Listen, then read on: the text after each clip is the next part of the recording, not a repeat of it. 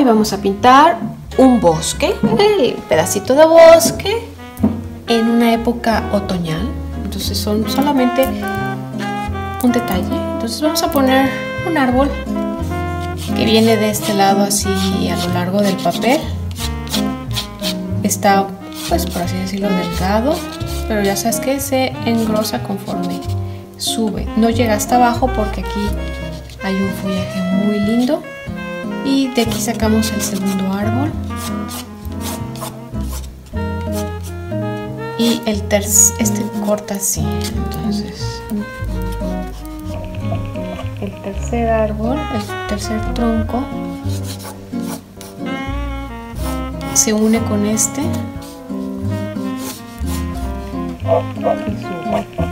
Y siendo uno de los principales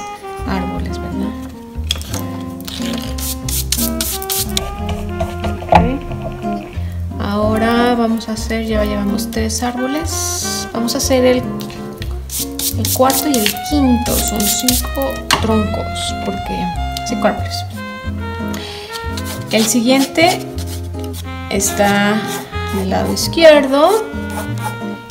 Sube también hasta arriba. Aquí tiene una ramita que se la ponemos una vez. Y el, el 1, 2, 3, 4, el quinto, ya habíamos dicho que era el quinto, está atrás y está más delgadito. Aquí ponemos un follaje, entonces ponemos justo como lo vemos y se extiende hacia arriba. Okay, aquí que, que coincida la línea, ¿verdad? Borramos la línea imaginaria y hacemos el tronco a un ladito, como te dije, está delgadito, árbol delgadito que está en la parte de atrás.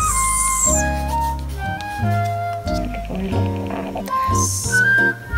Aquí vienen unas hojitas que no voy a poner en gran detalle porque mejor hacerlo con el pincel, ¿no?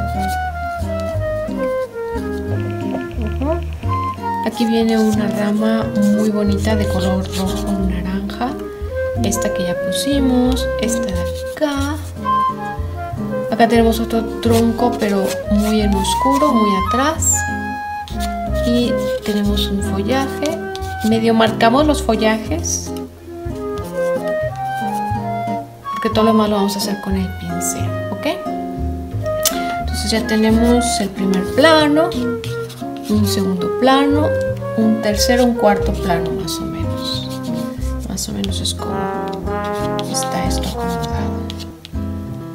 Sin poner más detalle. Ya tenemos el trazo hecho.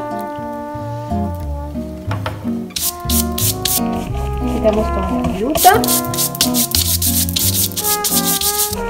Y vamos a empezar de arriba hacia abajo y un poquito de atrás hacia adelante, ¿no? Como tenemos varios planos, pues vamos a empezar con el plano de hasta atrás. Entonces, como quiero que todo lo de atrás quede envuelto, voy a humedecer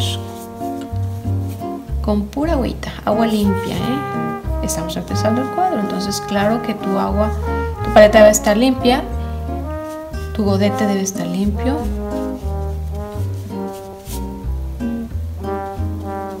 y estoy usando aquí un lápiz de acuarela por eso cuando le pongo el agua se, dif se difumina un poquito el lápiz pero pues ni modo tengo tiempo usando este lápiz y pues ya me acomodé a él al principio no me gustaba porque al momento de difuminarse te da un color oscuro y a veces eso te estorba un poquito ¿no? estoy usando un papel fabriano y andamos con un papelito más fino. A veces ni menciono el papel que, que uso porque como son acuarelas muy sencillas, las que hacemos para YouTube, no le gasto a papel muy caro, ¿no? Ay, disculpe usted. Entonces vamos a empezar con los amarillos, que siempre le aconsejo a mis alumnos, comiencen con los amarillos. Porque es un color que si no te salió de primera intención, ya no lo recuperas ni a chanclazos. Ahora, en acuarela casi casi eso pasa con todos los colores, pero con el amarillo es todavía peor. Entonces siempre hay tres colores de los que yo aconsejo hay que tener mucho cuidado. ¿Viste cómo aquí se mezcló con el grafito? Entonces dices, ah, sí, muy padres los colores en acuarela que se disuelven. Pues sí, pero si voy con, a usar negros, pero por ejemplo aquí que estoy usando amarillo y se me mezcla con el negro, pues me da un amarillote bien raro, ¿no? Entonces, pero ya me acostumbré a usar este triste lápiz, que a veces te ayuda, pero a veces te perjudica, ese, ese color negro ahí, ¿no? Entonces, pero bueno. Necesito sacarlo del estuche para dejar de usarlo. Ay, sí, a veces hacemos unas, tenemos unas manías medias chistosas. Entonces de este lado voy a hacer un grisáceo con... Le puse un poquito de verde, un poquito de azul, un poquito de naranjita del que vamos a estar usando todo el tiempo. Entonces es un grisáceo más bien hacia cafés. Y le voy a poner en un tono suave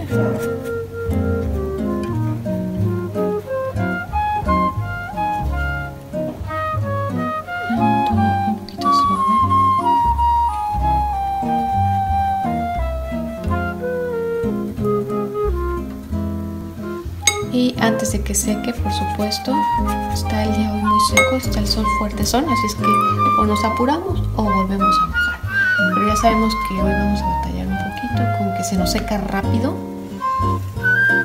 Entonces vamos a ocupar un rojito, pero no lo puse completo, sino lo mezclé con un poquito de,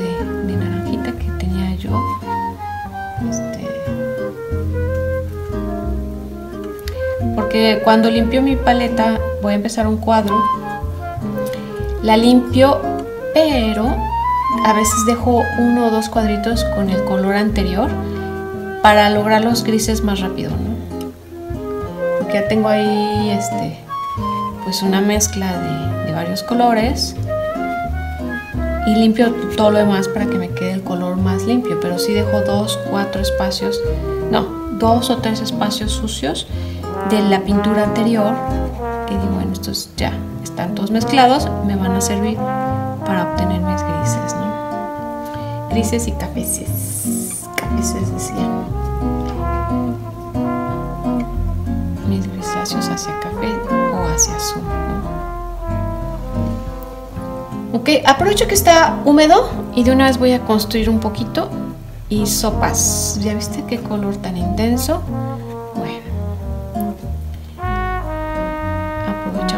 Húmedo y construimos un poquito haber esperado que se seque. Ahora sí que el orden de los factores no altera el producto. Cada quien, yo te voy dando pues, pistas, ¿no? Pero al final tú con la práctica vas a ir desarrollando tus propias técnicas y tu propio estilo para hacer las cosas, ¿no? Yo lo hago así, pero al rato tú vas a decir, no, yo ya me acomodé esta manera y cada quien va agarrando su propio, sus propios rollos. De este lado voy a poner otra vez unos cafecitos.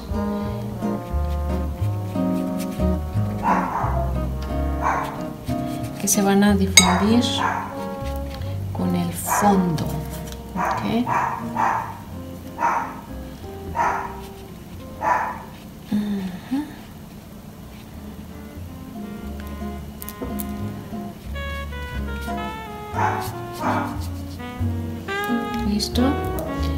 Pues este, aquí, cuando estoy grabando este video, estamos muy cerca del otoño.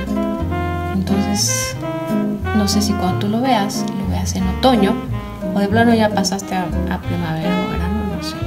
Pero por lo pronto aquí lo estamos grabando y estamos a nada de que entre el otoño.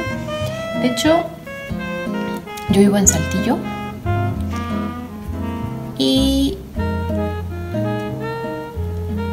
esta temporada de verano ni se ha sentido, ¿eh? ha llovido tantísimo que no hemos tenido verano. Nos echamos casi otoño toda la temporada. Me faltó mi verano, tengo que ir a la playa.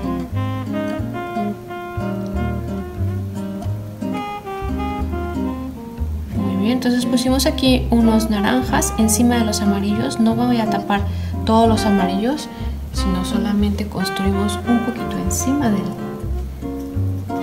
Y como ya estamos trabajando un poquito diferente, vamos a construir un poquito aquí. Puedes esperar a que seque y ponerlo o de una vez en húmedo. ¿Por qué lo estoy poniendo en húmedo? Pues para que se vea como que está atrás todo esto. Y dale como, como otra sensación de que está todo envuelto. Entonces, si quieres que quede todo envuelto, pues hazlo en húmedo.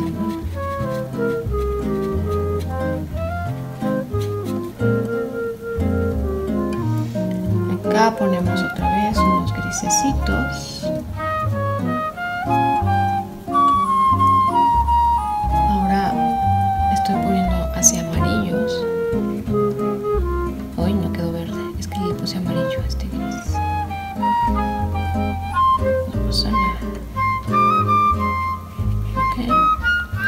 Lo voy a matizar con un poco de amarillo y de naranja.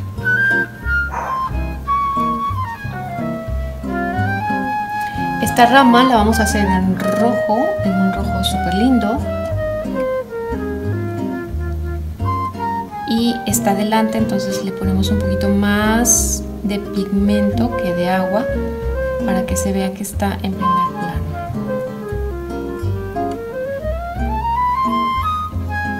y en algunas partes se envuelve con el fondo, ¿verdad? Aquí como que se une con este grupito de, de ramas del otro lado. Vamos a construir de este lado. Vamos a poner unos naranjitas aquí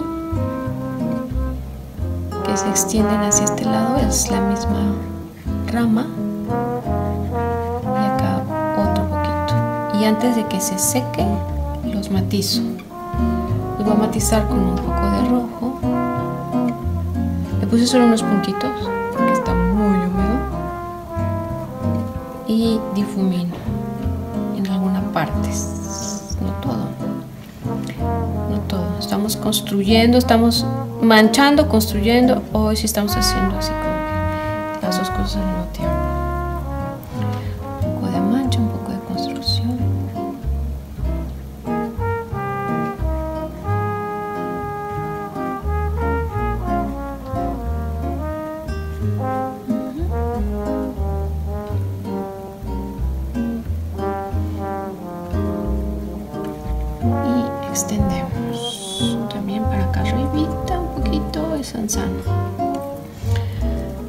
otra vez con el rojito voy a poner este rojito si lo maticé con un poco de café ay qué bonito se siente pintar con papel más fino mira qué padre se se distribuye el color ¿cómo sé que el papel es fino? bueno uno por el precio ¿verdad? El precio nos dice bastante si tu papel es corriente o es fino. Número dos, el peso. ¿Cuánto tiene de peso? Pues no, pues me lo regaló mi mamá, me lo regaló mi papá. Ah, bueno, es bueno, porque está regalado.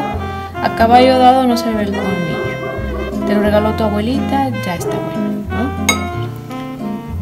Pero si tú vas a comprar el material, revisa el peso. ¿Cuánto pesa?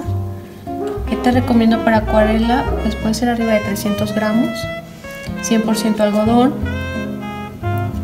libre de ácido, son las características que debe tener tu papel.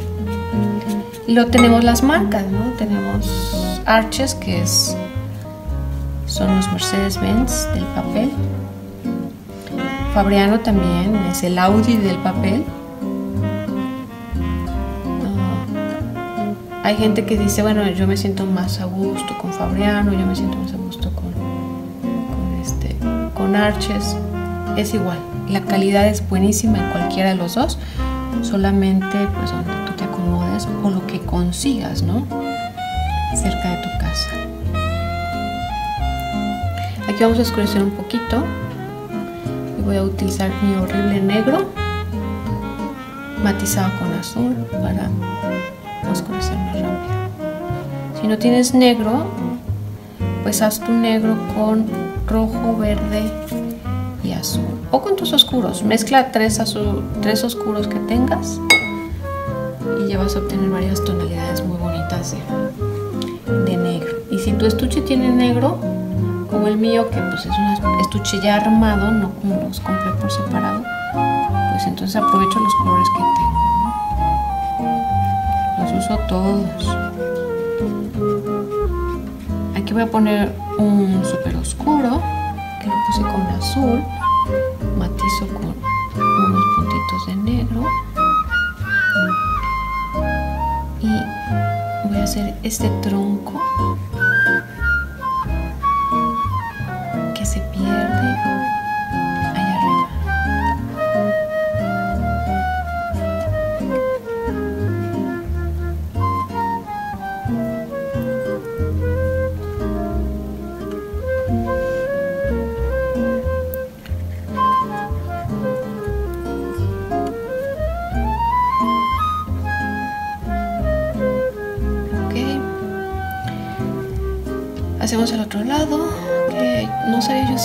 tronco que era por eso no lo había hecho.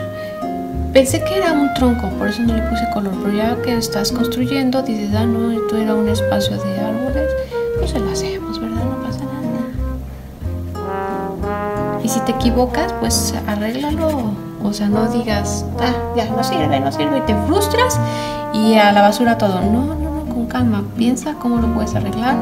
Puedes descansar la pintura. A mí me ha pasado pinturas que no me gustan, que no me está gustando cómo está quedando, las dejo descansar, porque como que me atoré, no sé. Entonces la dejo descansar la pintura y después regreso, ya así como más en calma. Y digo, a ver, a ver, ¿por qué no? Y, y encuentro la solución para arreglarla, no necesariamente la tienes que tirar. Hay otras que sí de plano le hago cachitos. Pero no te dejes vencer a la primera, ¿no? O sea, inténtalo varias veces, varias veces. Y no te, no te sientas frustrado si, si al principio no te sale. Mis alumnos presenciales me dicen, es que lo más fácil es la acuarela. Pues porque les di paso a paso, ¿no? Pero en realidad es la técnica más difícil de todas. Porque es difícil de corregir, porque es difícil de construir, etc. Pero si empiezas con acuarela, como muchas gentes han tenido la fortuna, mis alumnos, muchos de mis alumnos, este, los he comenzado con acuarela. Y este, entonces ya todo lo demás se hace más fácil, ¿no? entonces, ahora vamos a sacar unos, unos tronquitos Vamos a esperar que se seque, está demasiado húmedo. Ya vi que no me está funcionando, entonces enjuago el pincel, lo seco y lo difumino para que quede como fondo. Y ya que seque le hago los, los tronquitos que le quería hacer, que pues no me salieron. Vamos a trabajar el follaje de adelante que está en primer plano. Y como siempre te digo, vamos a comenzar con los amarillos, aquí graciosamente se me difuminan con el grafito de, lápiz acuareleable. Yo creo que debe ser muy bueno si haces este, una acuarela en blanco y negro, ¿no? Y así, porque donde te acomodan los, los oscuros. Pues total, no te sé decir si te lo recomiendo no te sé decir, la verdad, la verdad, la verdad, mejor uso un lápiz común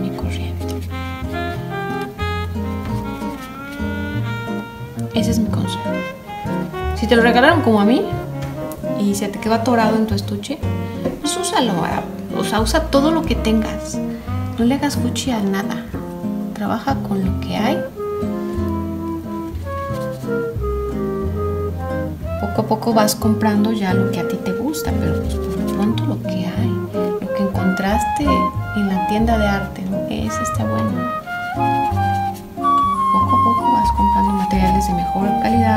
Con los que tú te vas acomodando. yo te puedo decir, bueno, Fabriano es lo máximo, pero a lo mejor a ti te gusta más trabajar con arches. A lo mejor a ti te gusta el papel torchón y a lo mejor a, mí me gusta más el liso, ¿no? Entonces, por lo pronto, si aprendes a manejar varios materiales, es mejor. ¿eh? No pongas demasiado fresa y digas, ay, no, yo solo trabajo con, con puro material súper fino. O sea, qué padre, ¿no? Si puedes, qué bueno. Pero si puedes, mejor a date la oportunidad de trabajar con cualquier material. Dicen que el buen músico, donde quiera toca. Y el mal músico, hasta los instrumentos les toca.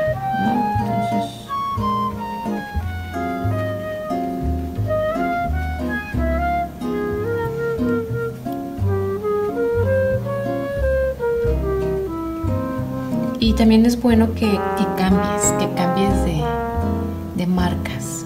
Una, pues para conocerlas. Dos, para...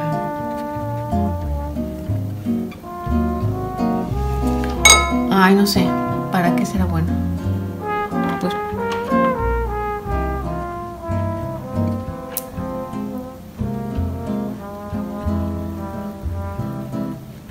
Aquí en húmedo le pusimos unas manchitas entre rojo y café, pero es un café hacia rojo. Y este y son como si fueran florecitas, ¿no? Que tiene el follaje que está ahí, ¿no?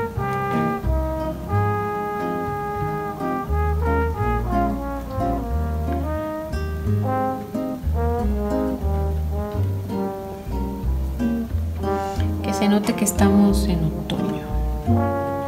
Es una pintura otoñal. Siento que ya me estoy tardando mucho tiempo. Voy a meter más velocidad.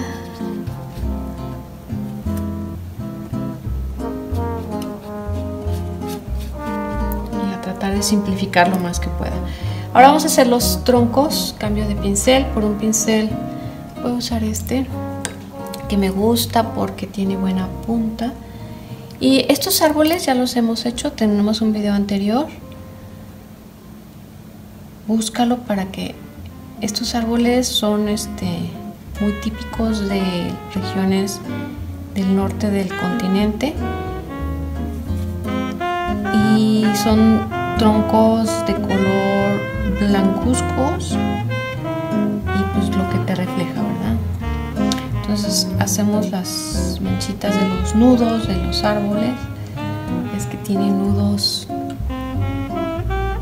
es, es como la huella donde hubo una, una rama. Entonces dejamos espacios en blanco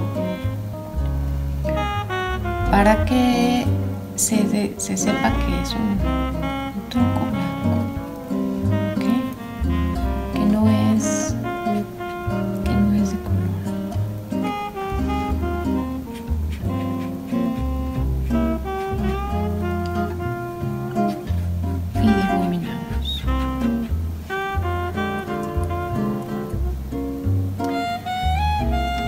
y luego el otro creo que debí de haber escogido un cuadro más sencillo. Pero bueno, ya estamos aquí. Trato de ponerle velocidad, de no sentirme tan presionada por el tiempo. Y lo padre de estos ejercicios de velocidad es que mm, no te detienes demasiado a pensar. Salen más sueltos, más naturales. Lo malo es que, pues, como no estás pensando mucho, se presta para que tengas más equivocaciones. Pero sí te recomiendo que hagas estos ejercicios también de velocidad, porque tú puedes pausar el video y hacerlo lento, ¿no? Pero a veces hazlo así de rápido, como lo estoy haciendo yo, para que sueltes la mano. ¿A qué me refiero? A que te salga la pincelada, es así, toda suelta, toda, toda este, natural. Entonces, en algunas partes, pues claro que tengo que oscurecer para que sobresalga el tronco, como por ejemplo aquí. Quiero resaltar el tronco, entonces le subo al espacio negativo. ¿Qué es el espacio negativo? Lo que está atrás.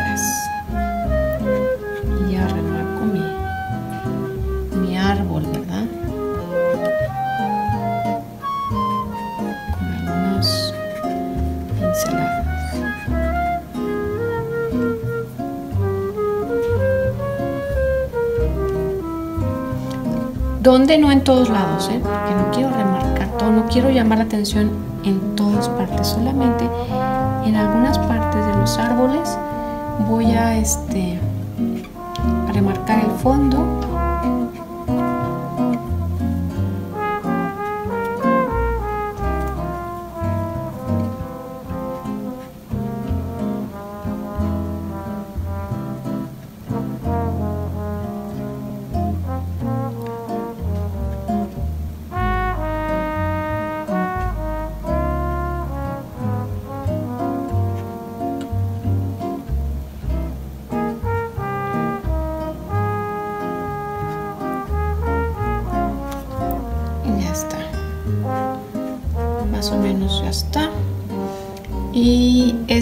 este, lo repetimos en todos los tronquitos.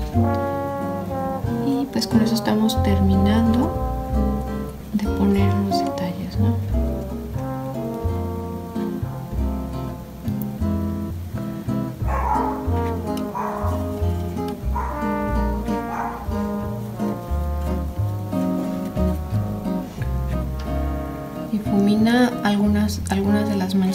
pusiste, otras resáltalas trabajando el espacio negativo y ya tienes tu cuadro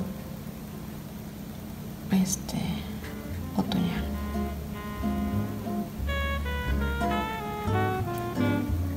Decide dónde quieres este remarcar, dónde quieres acentuar.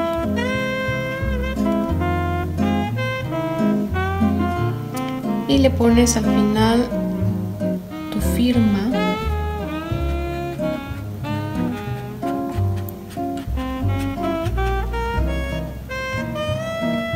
en uno de aquí vamos a poner antes de que terminemos vamos a poner unas hojitas en primer plano que prácticamente las dibujamos con el pincel. Quieres dibujarlas para sentirte más segura, seguro, está bien. Pero prácticamente las dibujamos con el pincel. Ponle tu firma, comenta, comenta este, alguna duda, alguna inquietud que tengas, compártelo con alguien que sabes que le gusta pintar, que va a disfrutar del video. Puede ser desde una amiguita, una vecina, un familiar tu abuelita pinta, pues pásale el video, enséñale a verlo. Aunque ya las abuelitas bien que le saben, las han visto en TikTok y las han visto. Es que no subestimes, que no somos tan rápidos como ustedes, es cierto. Pero sí le entendemos. Al menos nos movemos, ¿no? Al menos nos movemos en el, en el medio. Bueno, este, entonces, este voy a seguir poniendo unos detalles ya te lo dejo a tu, a tu criterio que tanto detalle le quieres poner. Y nos vemos para la próxima. Síguenos en nuestras redes sociales